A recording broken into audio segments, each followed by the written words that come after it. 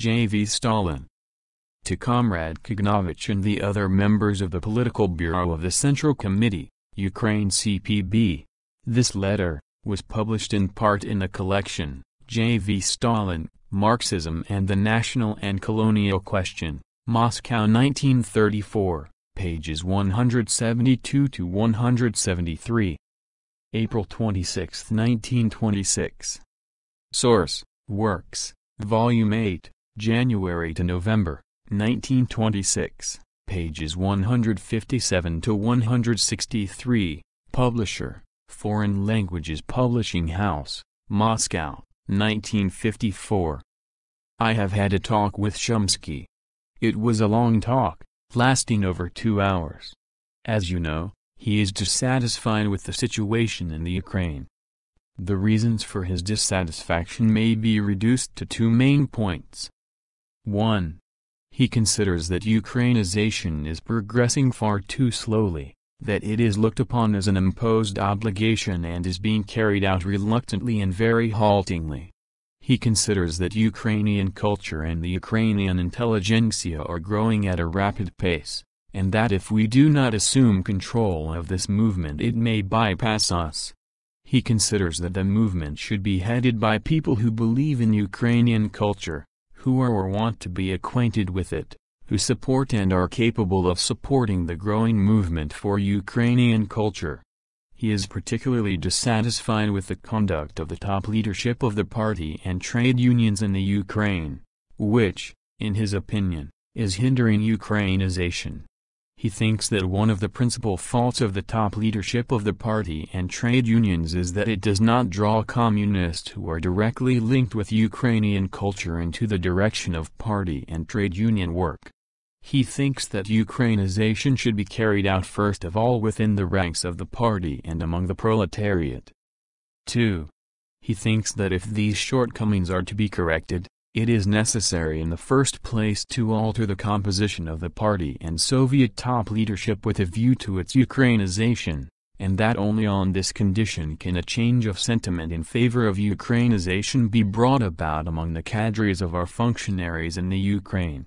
He proposes that Grinko should be appointed to the post of chairman of the Council of People's Commissars and Chubar to the post of political secretary of the CC, UKR, CPB that the composition of the Secretariat and the Political Bureau should be improved, and so forth.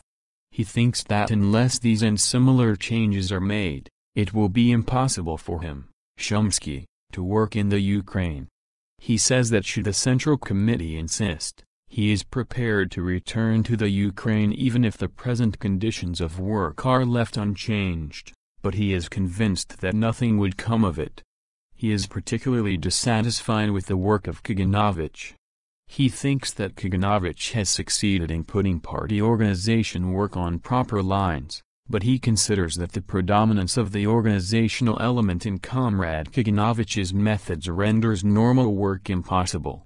He is convinced that the effects of the organizational pressure exerted by Comrade Kaganovich in his work, of his method of relegating higher Soviet institutions and their leaders to the background, will make themselves felt within the very near future, and he cannot guarantee that these effects will not take the form of a serious conflict.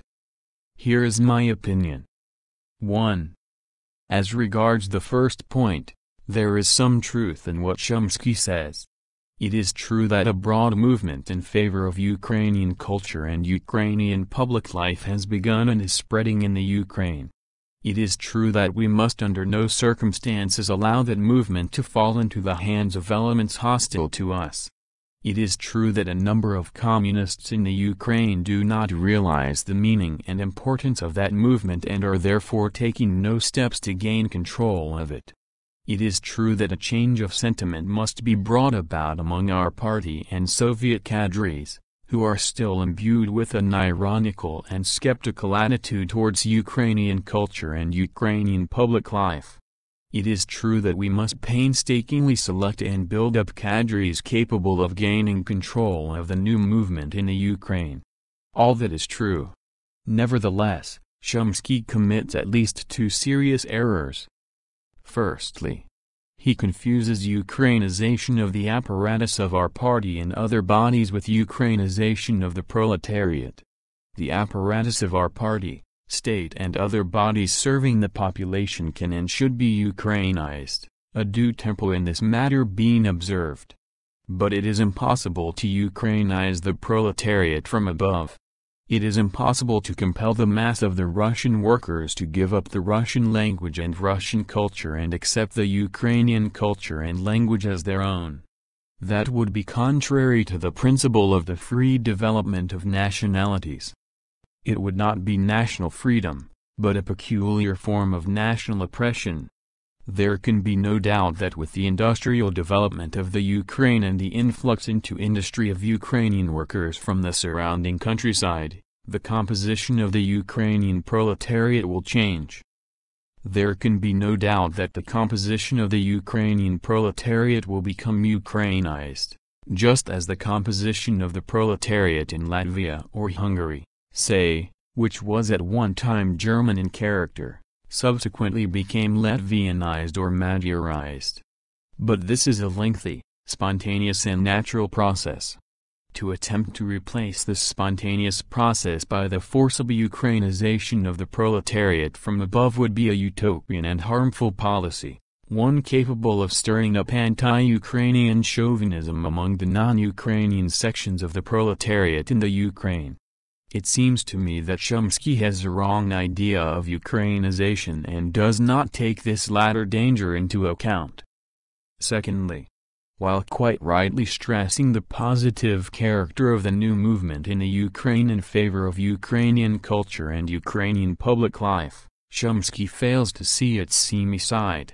Shumsky fails to see that, in view of the weakness of the indigenous communist cadres in the Ukraine, this movement, which is very frequently led by non-communist intellectuals, may here and there assume the character of a struggle to alienate Ukrainian culture and public life from general Soviet culture and public life, the character of a struggle against Moscow in general, against the Russians in general, against Russian culture and its highest achievement, Leninism. I shall not stop to prove that this is becoming an increasingly real danger in the Ukraine. I only want to say that even certain Ukrainian communists are not free from such defects. I have in mind such a generally known fact as the article of the communist Khvalevoy in the Ukrainian press.